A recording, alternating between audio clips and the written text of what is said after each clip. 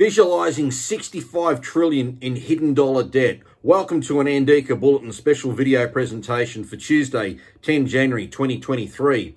Now, based on an analysis from the Bank of International Settlements, or the BIS, this infographic chart that you can see just highlights the rise in hidden dollar debt across non-financial institutions and examines the wider implications of this growth. The scale of the hidden dollar debt around the world, as you can see, is huge. No less than 65 trillion in unrecorded dollar debt circulates across the financial system of non-US banks and shadow banks. To put this in perspective, global GDP sits at 104 trillion. So we're talking nearly two thirds of what the global GDP is in all this dollar, hidden dollar debt. This dollar debt is in the form of foreign exchange swaps, which have exploded over the last uh, decade due to years of monetary policy easing and ultra low interest rates as investors search for higher yields. Today, unrecorded debt from these foreign exchange swaps is worth more than double the dollar debt officially recorded on the balance sheets across these institutions. Since 2008, the value of this hidden unrecorded debt has nearly doubled. In 2008, non-US bank unrecorded debt stood at just under $22 trillion and shadow bank unrecorded debt at 12.4. As of the 30th of June 2022, non-US uh, bank unrecorded debt stood at $39.4 trillion, while non-US shadow bank unrecorded debt stood at $26 trillion. So how does it work? Well, one party borrows a currency while lending another. These must be exchanged back at a future date in what's called a swap contract. These contracts are considered a form of debt. Now, often this debt is not recorded on balance sheets due to bank accounting rules. So what are the wider implications of this? Well, the risk growing from dollar debt and these swap lines arises when a non-US bank or a shadow bank may not be able to hold up their end of the agreement. In fact, on a daily basis, there is an estimated $2.2 trillion in Forex swaps exposed to settlement risk.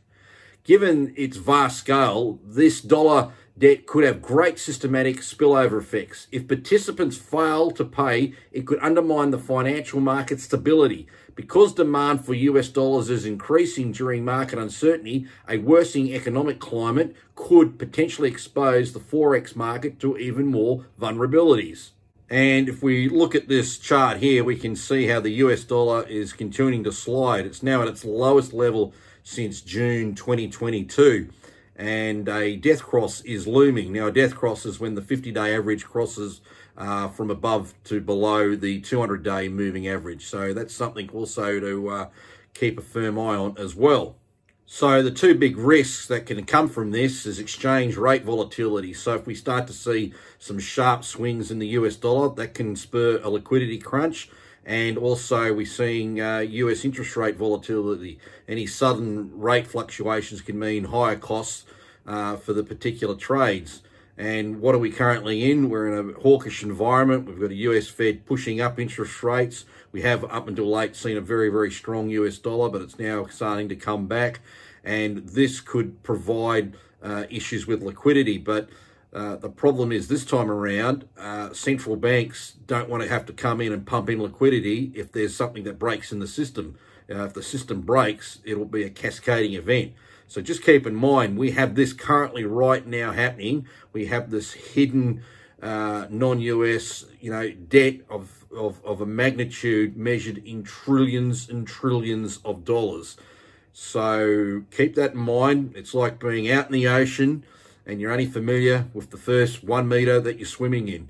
Meanwhile, there's three kilometres plus of water below you. We just don't know what's happening, and uh, it's important when information presents itself, you, you can uh, make better strategic decisions. Anyway, I thought it was worth sharing with everybody. Hope you've enjoyed the video. If you have, please smash that like button. I've also put in the description below uh, a copy of the Visual Capitalist article for which I um, managed to get these screenshots from.